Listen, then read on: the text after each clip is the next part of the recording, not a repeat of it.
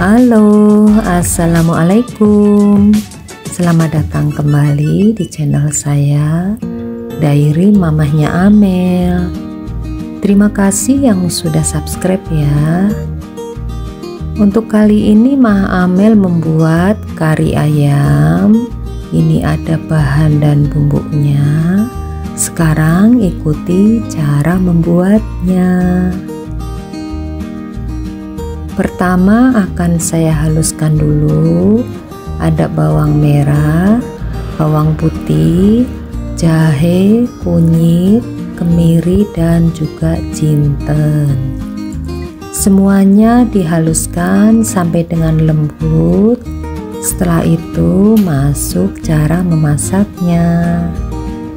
Tuang minyak secukupnya, masukkan bumbu yang tadi dihaluskan Kemudian tambahkan daun salam, serai, daun jeruk dan lengkuas. Aduk sampai bumbunya matang. Setelah matang, baru masukkan air.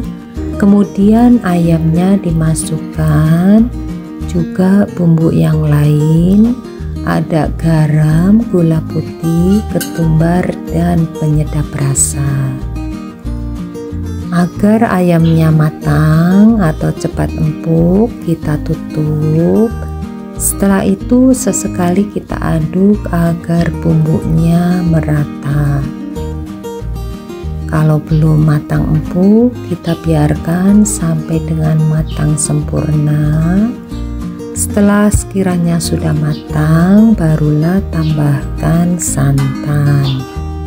Kemudian matikan kompor Buangin dulu daun salamnya lalu dites rasa. Kalau sudah pas, ini siap untuk disajikan.